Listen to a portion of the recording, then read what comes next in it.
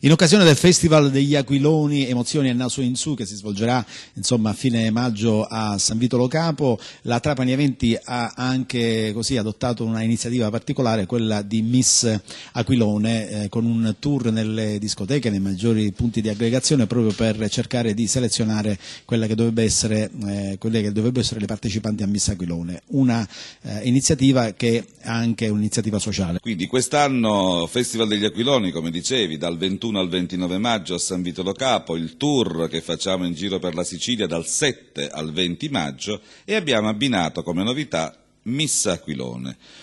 Un messaggio di positività che vogliamo lanciare a tutte le donne della provincia di Trapani, non il solito concorso alla Miss, noi non cerchiamo le anoressiche, non cerchiamo le persone che hanno problemi di disturbi alimentari anche perché ci siamo uh, uniti all'associazione Onlus proprio qui di Marsala, la bici di Rosalina e siamo in contatto anche con l'AIDAP, l'associazione italiana per, eh, contro i disturbi alimentari e del peso, proprio perché il messaggio che vogliamo lanciare è un messaggio di positività per tutte quelle ragazze che inseguono tanti sogni molte volte irrealizzabili, che rimangono solo dei sogni. Quindi una donna che abbia il sorriso, la gioia di vivere, la bellezza, tutte le donne sono belle, ma che abbia anche questo messaggio di positività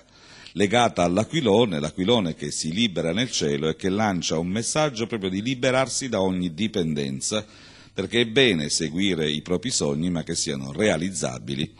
e soprattutto che non facciano male alla salute. Ecco, questo tour, eh, le prossime tappe? Allora, noi stasera siamo a Trapani al Green Stage come locale, sabato saremo all'Alter Ego di Partanna e poi invitiamo tutti a consultare il sito www.missaquilone.it dove andiamo a mettere tutte le date che concordiamo con i vari locali della provincia di Trapani e poi il sito generale www.festivalaquiloni.it dove si trovano tutte le ulteriori informazioni anche sul festival. La rete ci consente di dare oltre a voi che ci ospitate, ci date l'opportunità appunto di comunicare queste nostre iniziative, con la rete manteniamo aggiornati sempre tutti in diretta e dal vivo.